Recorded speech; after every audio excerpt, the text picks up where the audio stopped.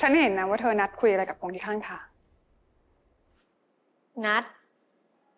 หนูไม่ได้นัดเขาค่ะ เขาตามมาเอง แล้วเขาตามเธอไปทำไม หนูจะไปรู้เหรอคะ ถามเขาเองไหม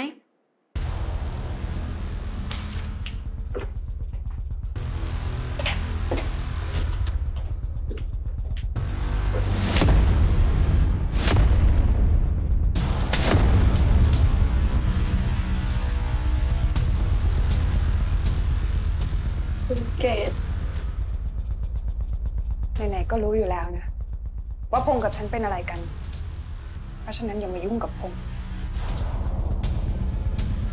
ไม่งั้นโดนหนักกว่านี้คุณนั่นแหละ จะโดนฉันฟ้องข้อหาทำร้ายร่างกาย ลองดูสิ ไหน ไหนหลักฐาน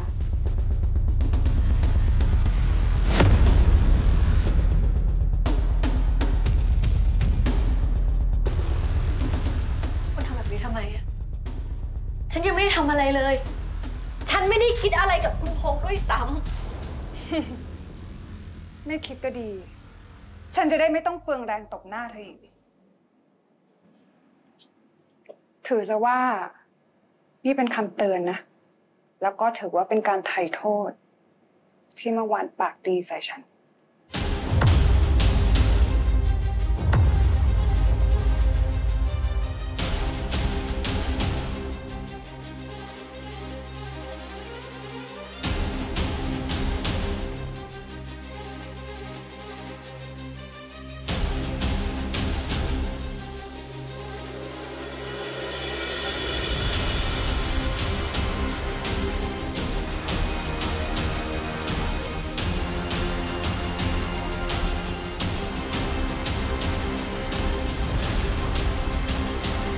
friends my mine